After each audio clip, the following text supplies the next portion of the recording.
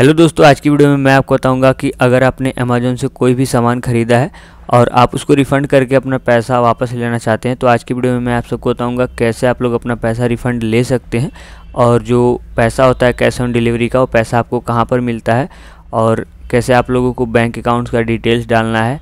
आपको Amazon pay balance में पैसा चाहिए तो आप अमेजोन पे बैलेंस में भी ले सकते हैं। तो इसके लिए दोस्तों, करना क्या है? सिंपल सा आपको यहाँ पर एक ऑप्शन दिखेगा ऑर्डर्स का रिटर्न एंड ऑर्डर्स का। तो आपको इसके ऊपर क्लिक करना है। अगर आप फ़ोन में यूज़ कर रहे हैं तो माई अकाउंट में जा कर के आप ऑर्डर्स के ऊपर क्लिक करेंगे। तो आपके सामने भी जो भी सामान आप ख़रीदे होंगे अमेजोन से, आपको दिख जाएगा। तो देख सकते हैं यहाँ पर मैंने एक यू एस बी हब था जिसको मैंने परचेस किया था। तो मैं यहाँ से रिटर्न आइटम्स के ऊपर क्लिक करूँगा। और देख सकते हैं यहाँ पर रीजन सिलेक्ट करने के लिए आ जाएगा आपके सामने कि क्या रीजन है जिसके वजह से आप इसे वापस करना चाहते हैं। तो यहाँ पर रीजन सिलेक्ट कर लीजिएगा। मैं यहाँ पर जो लास्ट में दिख रहा है उसको सिलेक्ट करके यहाँ पर आपको थोड़ा सा कमेंट मतलब डिस्क्राइब करना होगा कि आपको ये प्रोडक्ट जो है उनका क्यों नहीं पसंद आया। तो यहाँ पर मैं लिख देता हूँ।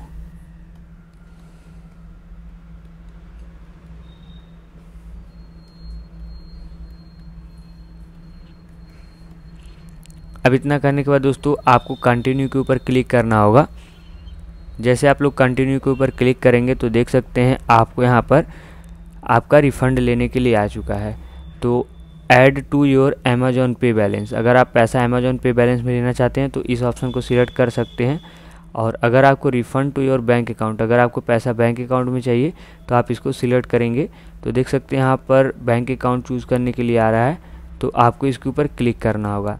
ऑलरेडी मेरा जो अमेजोन पे है, उस पर एक बैंक ऐड है, जो कि मुझे दिख रहा है। अगर आपको ऐड न्यू बैंक अकाउंट के ऊपर क्लिक करके बैंक ऐड करना होगा अब दोस्तों देख सकते हैं यहाँ पर यह ऑप्शन आ चुका है नया बैंक अकाउंट ऐड करने के लिए। तो यहाँ पर आपको आईएफएससी कोड डालना होगा आपके बैंक का।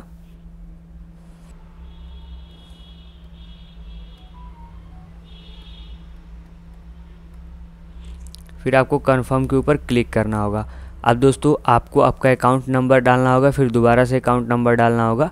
और यहाँ पर जो अकाउंट टाइप है, उसको सिलेक्ट करके ऐड बैंक अकाउंट के ऊपर क्लिक कर देना है तो आपका बैंक अकाउंट ऐड हो जाएगा।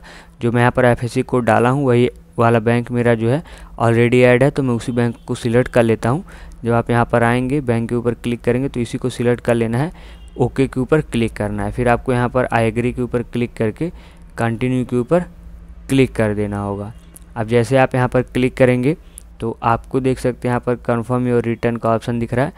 तो यहाँ पर आपका जो रिफ़ंड है, आपको कितना मिलेगा, आपको यहाँ पर दिखेगा। तो देख सकते हैं, ये जो है वन थाउज़ेंड नाइन्टी नाइन का ये मेरा प्रोडक्ट था, जो कि मुझे टोटल यहाँ पर रिफ़ंड कर दिया जाएगा।